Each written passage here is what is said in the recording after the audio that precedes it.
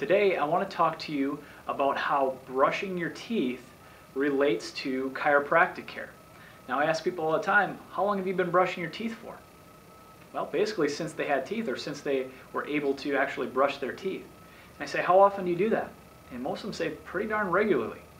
And I say, well, what would happen if you eventually, what if you stopped brushing your teeth? What would eventually happen? They say, well, my teeth would fall out. Uh, they break down, they fall out, they start to rot, things like that. And guess what? The good news is with technology and dentistry these days, you can actually replace your teeth, and that's a good thing. But if you think about it, your spine is the exact same way. If you don't take care of your spine, eventually it's going to start breaking down on you. That's going to affect your nervous system, which is going to affect your overall health and well-being. So if you stop uh, getting your spine checked, eventually it's going to break down like I just said.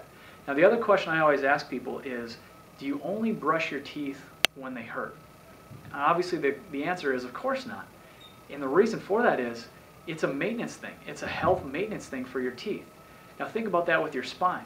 If you're only using chiropractic care uh, when you have a pain or a symptom, you're not getting the full benefits out of chiropractic care.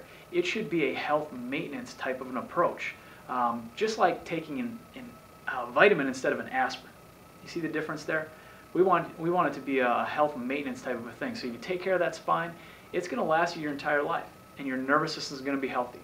So I hope you learned something, and join us next time when we talk about how chiropractic care can change your family's life and your life. Thanks for listening.